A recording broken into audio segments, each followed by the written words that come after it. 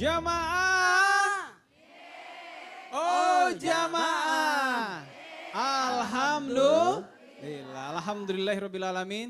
Pemirsa dan juga jamaah yang ada di studio, pada hari ini kita membahas tema yang luar biasa, membuat kita dak dikduk juga, agak takut tapi kita penasaran apa sebenarnya yang terjadi, yaitu peristiwa dahsyat di alam kubur. Dan tadi kita sudah uh, mendengarkan tausiah dari para ustadz dan ustazah kita, bahwa di alam kubur ada himpitan, ada ujian, tapi semua tergantung dari amal yang kita lakukan di dunia dan kita memohon kepada Allah mudah-mudahan Allah selamatkan kita di alam kubur nanti.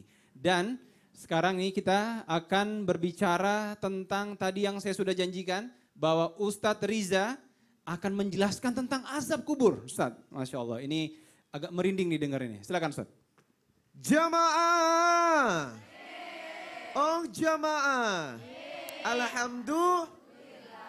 Lalu azab apa yang akan diberikan kepada ahli kubur yang selama hidupnya menentang Allah, yang selama hidupnya menentang Rasulullah sallallahu alaihi wasallam.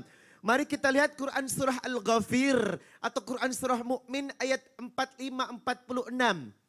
Fawakahullahu sayyiati ma makaru wa ali fir'auna su'ul adab. Bagi mereka pengikut-pengikut Fir'aun yang mengaku dirinya Tuhan dan menentang mendustakan Allah, maka meninggalnya meninggal dalam keadaan diadab di kuburnya. Ya Allah. Dilanjutkan dengan ayat 46, An-naru yu'raduna 'alaiha guduwa wa asyiya. Ditampakkan neraka di siang, petang.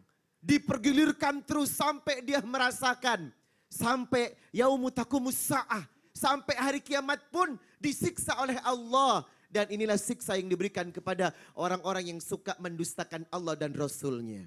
Lalu bagaimana dalam sebuah hadis riwayat Ahmad yang disahihkan oleh Albani dengan nomor as-sahiha 1672 Rasulullah sallallahu alaihi wasallam bersabda ketika ruh itu baik ibu ketika meninggalnya husnul khotimah malaikat datang dari langit membawa kain kafan dan hanut pertanyaannya apa itu hanut obat pengawet mayat orang yang taat akan dihanut akan dikasih obat pengawet mayat. Itu obatnya dari langit, malaikat yang memberikan. Makanya orang yang baik mayatnya tidak akan pernah busuk.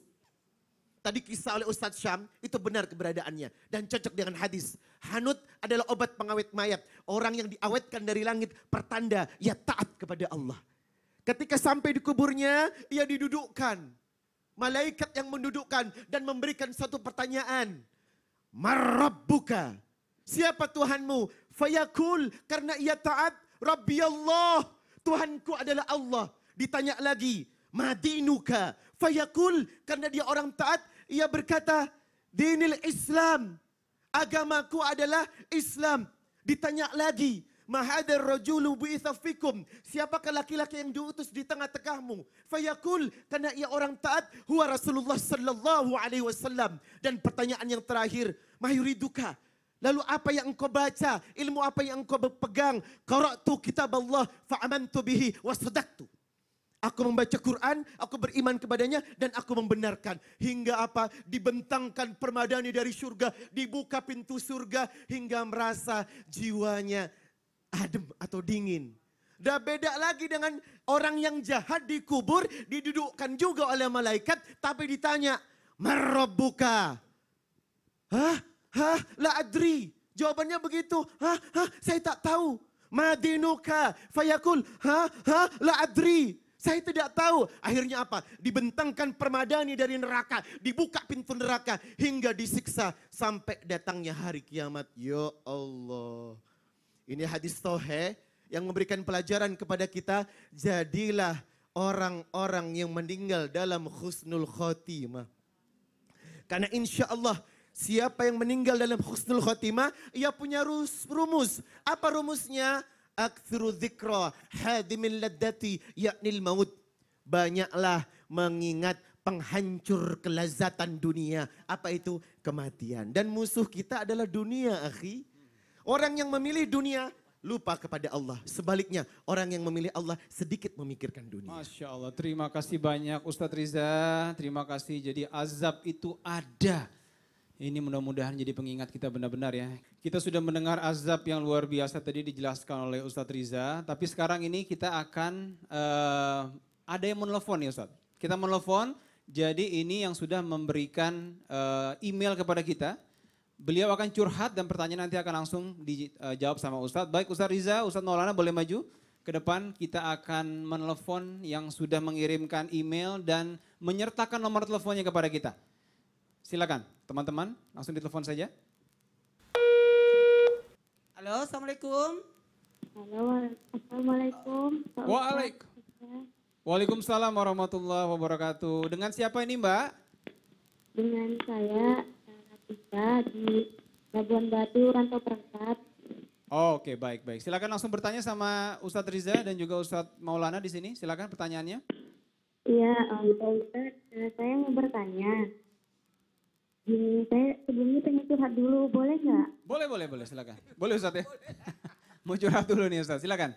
Silakan Mbak. Iya, saya uh, berasal dari keluarga yang sangat mempunyai ibu yang sangat luar biasa. Ibu saya adalah seorang guru ngaji, tapi berbanding terbalik dengan ayah saya. Ayah saya adalah seorang penjudi yang dulunya dia suka mampu, suka judi, dan sampai sekarang sampai saya mau masuk kuliah pun ini belum merubah juga. Dan padahal saya itu lulus cuma tahun ini lulus kuliah pendidikan agama Islam dan saya sudah menasehati ayah saya sudah sering mendoakan dalam setiap sholat saya, dalam setiap sujud saya, agar agar saya bertaubat. Tetapi tidak ada perubahan Pak Ustadz. Jadi sebagai seorang anak, apakah salah jika saya menasehati ayah saya? Kadang saya sampai tidak ber saya kepalanya melihat ayah saya seperti itu. Saya benci jadinya melihat ayah saya Pak Ustadz. Tapi kadang saya kasihan. Cuman bagaimana lagi? Saya sebagai seorang anak apa yang saya harus lakukan Pak Ustadz? Baik, silakan langsung dijawab aja Ustaz. Uh, Bismillahirrahmanirrahim. Mudah-mudahan kita dapat hidayah dari kejadian yang menimpa Mbak tadi. Uh, buat yang di rumah termasuk yang di sini, mohon maaf. Ketahuilah sosok anak tidak boleh ada benci kepada orang tua. Yang dibenci perbuatannya tapi orang tuanya nggak boleh dibenci. Karena kita sebagai anak harus tetap berbuat baik kepada orang tua sekalipun orang tua itu pendosa tetap kita berbuat baik, memperlihatkan keteladanan, kemudian uh, doakan beliau karena hidayah itu datangnya dari Allah. Ah, gimana nih menyikapinya? Dan ke, kalau orang tua sudah meninggal, maka doakan mohon ampunkan kepada kepada Allah atas orang tua. Mudah-mudahan atas permohonan ampunan kita, eh, doa-doa kita sehingga orang tua kita pun mendapatkan kemuliaan dari ampunan itu. Amin. Amin. Ya nah, kalau Ustaz Riza silakan. Setiap keluarga punya ujian dan cobaannya masing-masing. Setuju? Dibuka surat Al-Baqarah 155, Walana ba'luwannakum bisyai'im minal khawfi wal ju'i wa naksim minal amwali wal anfusi wal thamarat wa basyyiris sabirin." Setiap jiwa keluarga akan diuji pertama khauf, rasa takut. Nah, yang Mbak rasakan sekarang takut. Kenapa? Takut karena ulahnya ayah Ya kan? Bagaimana ini? Nah segala sesuatu pintu hidayah hanya Allah yang punya. Inna Allah yahdi man yasha'u hisab. Allah yang kasih hidayah dengan cara apa? Laisa syai'un akramah 'ala Allah minad du'a. Perbanyak doa, perbanyak zikir, perbanyak solat. Insya Allah nasta'inu bisabri wassalah. Hanya solat yang bisa menolong kita. Sesukar apa pun permasalahan dalam hidup, inna Allah ma'ana. Ada Allah. Jangan pernah lari dari Allah. Apa pun, sebesar apa pun permasalahan kita, tetap dekatkan diri kepada Allah. Kuncinya cuma di Allah. Ketika Allah sudah mau mengubah, mengubah seseorang, Innama amruhu idha arada syai'an ayyakula lahu kun fayakun. Maka mudah, maka tetap berdoa, perkuat zikir, saya yakin Bapak Mbak akan berubah. Amin amin insya Allah. Jadi Mbak jangan khawatir siapa pun kita yang mengalami hal yang yang sama dengan itu jangan khawatir berdoa terus kepada Allah karena Allah lah yang maha membolak-balikkan hati manusia. Masya Allah. Ustadz Riza terima kasih boleh kembali dan ini Ustadz Maulana sekarang kita minta janjinya ini yang akan ya, menjelaskan tentang oh, nikmat di alam kubur ya. Kalau tadi azab-azab-azab sekarang nikmat. Silakan Ustadz. Makasih banyak Mas Dude. Alhamdulillah Rabbil Alamin ternyata ndak usah takut. Ndak usah takut Insya Allah Justru ketika orang baik yang meninggal, maka dia berkata, segerakan aku, segerakan aku, jangan tahan aku, segerakan aku, segerakan aku. Karena dia mau mendapatkan nikmat Allah. Mau dapat pahala salat? Mau? Mati dulu. Karena nanti meninggal baru dapat pahala salatnya. Betul apa betul? Ternyata ada nikmat di alam kubur. Allah luaskan kuburnya dan diperlihatkan keindahan surga dan didatangkan sosok yang rupaya, rupawan yang datang menghibur padanya sehingga dia tidak merasakan kesulitan. Tadi saya sudah gambarkan kalau ada orang yang mendatangi kita mukanya kayak Mas Dude, eh, enak itu. Apalagi rohnya akan dikumpulkan bersama dengan orang-orang yang mukmin. Makasih banyak tadi Ustaz uh, Riza Muhammad dan Ustazah Nabila sudah membahas Ustazah Nabila MA baru di, di wisuda ya. Ustazah Nabila NA yang luar biasa mempaparkan bahwa ada ada doa-doanya, beri salamnya, kenikmatannya dan ketahuilah ingat senantiasa akan memperoleh rezeki. Maksudnya rezeki pernah dibahas oleh Abi Maki uh, pada pada tosias uh, pernah dibahasnya tentang orang yang meninggal itu orang yang baik itu akan mendapatkan rezeki apalagi orang mati uh, sahid Nah, karena ada tujuh yang tergolong mati sahid. Mati sakit, mati jatuh, mati kejatuhan. Jadi orang terkena gempa itu uh, mati mulia. Mati sakit, mati jatuh, mati kejatuhan, mati tenggelam, mati terbakar, mati melahirkan, dan mati dalam tugas. Termasuk orang yang masih dalam masa nipas lalu meninggal, belum cukup 40 hari setelah melahirkan, lalu meninggal digolongkan orang mati uh, sahid. Jamaah yang dimuliakan oleh Allah, ada lagi. Apalagi dilapangkan kuburnya dan diberikan cahaya. Mau diberikan cahaya? Mau perbanyak amal. Ketahuilah ada orang mendapatkan cahaya itu yang rajin baca Quran. Makanya golongan-golongan yang mendapatkan nikmat dalam kubur itu orang yang jaga salatnya. Orang yang menjaga salatnya. Orang yang rajin baca Quran. Maka Al-Quran itu akan menjadi cahaya penerang dalam kuburnya. Orang yang suka bersedekah. Orang yang menjaga lidahnya. Jaga lidah kita sehingga nanti di kuburan tidak dapat siksaan tapi mendapatkan kemuliaan. Jadi bacaan Al-Quran itu akan menjadi cahaya. Bahkan pernah disebutkan di pesantren bahwa disuruh amalkan baca surah Al-Mulk setiap malam. Baca surah Al-Mulk setiap malam supaya menjadi cahaya di dalam kubur. Dan istirahatlah dia sampai di hari kebangkitan dan makan sebagaimana makanan dari buah-buahan dari surga dan dan memakai pakaian pakaian dalam surga. Sebagaimana tadi yang dibahas oleh Ustaz Riza, dibawakan kain, dipakaikan, itu luar biasa. Dan melihat tempat tinggalnya di surga. Ah, itu. Bahkan ketahuilah ditemani amal salehnya dan setiap hari Senin diperlihatkan atas apa yang dilakukan anak-anaknya di dunia. Jadi sebaiknya kalau hari Senin baik-baiklah karena itu melihat anak-anaknya yang dilakukan di hari setiap hari Senin. Masya Allah. Oh, Terima ya kasih Allah, banyak banyak. Maulana. Iya. Jadi tetap kata kuncinya adalah amal. Jadi apa pun nikmat yang kita terima ya Ustadz, kembali kepada amal kita sebenarnya. Amal. Jadilah maka kuncinya ada di dunia ini kita mau ngapain. Apa yang mau kita terima nanti kuncinya di sini sekarang. Maka perbanyak amal insya Allah kita selamatkan, kita diselamatkan sama Allah dunia akhirat dan juga di alam kubur. Baik, pemirsa dan juga jamaah yang ada di studio, sekarang kita akan masuk ke dalam segmen Al-Quran Menjawab.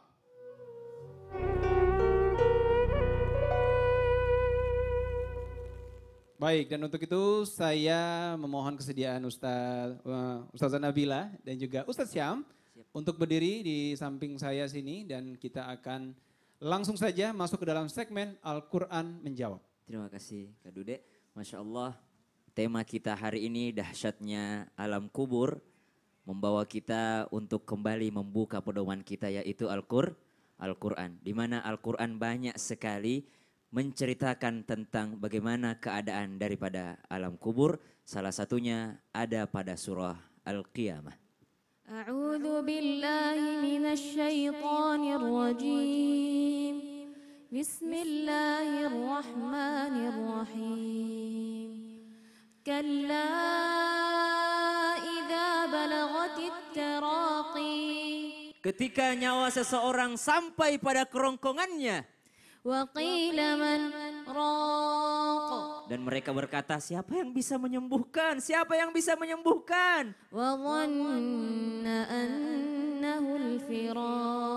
Dan mereka mulai sadar ternyata sudah datanglah waktu malakul maut menjemput.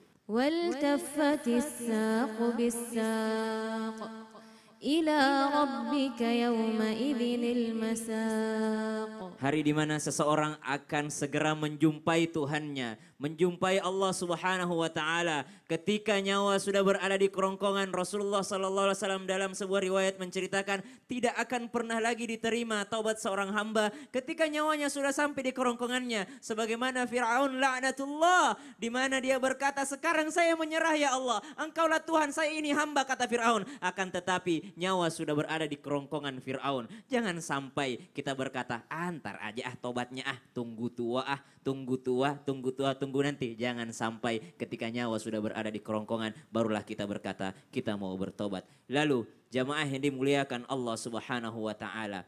Ketika orang berada di alam kubur, ini bukanlah akhir, melainkan ini merupakan awal sebagaimana Allah ceritakan dalam surah Al-Waqiah. وكانوا يقولون أئذا متنا وكنا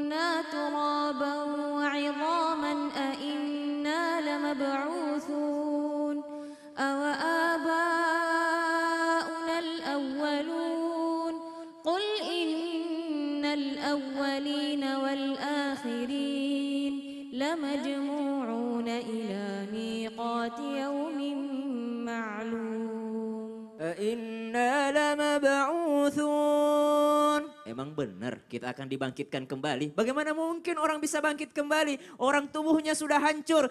Inna lamab'utsun. Bisakah orang bangkit kembali? Bukankah kematian itu adalah sebuah akhir daripada segalanya? Di sinilah dibutuhkan daripada iman kita. Kalau kita mencari dengan logika, tidak ada satupun orang yang sudah membuktikan bahwa ada ke- ada kehidupan setelah kematian tersebut. Semua orang akan berkata, kuburan adalah tempat terakhir. Tapi ketika kita melihat wahyunya Allah, apa katanya? Awa abaunal awwalun, kul innal awwalina wal akhirin lamajmu'una ila miqati yamin ma'lum. Bapakmu pun, nenek moyangmu pun semuanya akan dimintai pertanggungjawaban dan semuanya akan dibangunkan kembali agar mereka mempertanggungjawabkan di akhirat kelak. Jamaah yang dimuliakan Allah Subhanahu wa taala. Kemudian digambarkan dalam Al-Qur'an ketika keadaan orang-orang yang dibangkitkan dalam kuburnya bagaimana Ustazah? ونفخ في الصور فإذا هم من الأجداث إلى ربهم ينسلون قالوا يا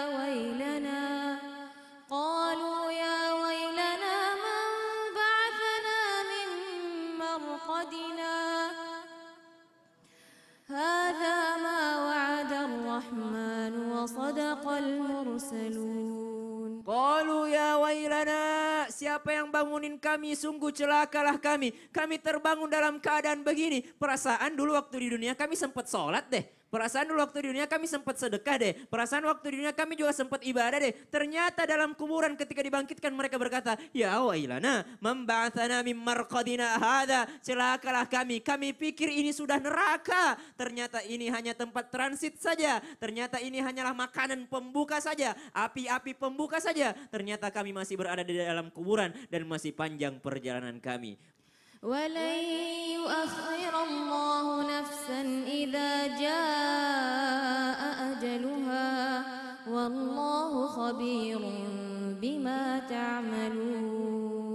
Tutup mata kita, renungkan ayat ini. Allah katakan, "Walai yuakhirallahu nafsan idza jaa ajaluha." Apa pun pangkat kita, berapapun harta kita, siapa pun kita, apa pun kedudukan kita, jikalau ajal itu akan menjemput, maka tidak mampu kita membeli satu detik pun, tidak mampu kita berkata kepada Allah, "Ya Allah, tunggulah satu detik atau sepuluh detik saja saya ingin bertaubat. Jikalau ajal itu akan datang, maka dia akan pasti datang tepat waktunya di mana bagaimana keadaannya hanya Allah yang tahu. Sadaqallahul azim. Masya Allah, terima kasih Ustadz Syam, Ustadz Nabila terima kasih banyak. Tentu kita akan banyak sekali merenung dari apa yang tadi dibacakan oleh Ustadz Nabila dan juga Ustadz Syam. Dan setelah ini kita akan kembali mendengarkan tausiah dari Ustadz Riza. Apa yang akan disampaikan nanti Ustadz? Bagaimana senantiasa menjadikan diri untuk tidak takut dengan kematian. Nggak Tapi boleh mesti, takut dengan kematian. mesti ada bekal, ada satu ibadah yang kalau dikerjakan menyelamatkan kita untuk sukses mendapatkan nikmat kubur dan surganya Allah. Masya Allah, itu penting sekali. Dan yang kedua, tausiah solusi dari Ustadz Maulana. Tentang apa nih Ustadz? Alhamdulillah Rabbil Alamin solusi yang kita paparkan nanti di akhir acara kita insya Allah menjadikan kita amalan-amalan apa yang menyelamatkan kita dalam kubur. Masya Allah ini dua hal yang sangat penting sekali. Jadi jangan ke mana-mana tetap di Islam itu indah. Jamaah. Oh jamaah. Alhamdulillah.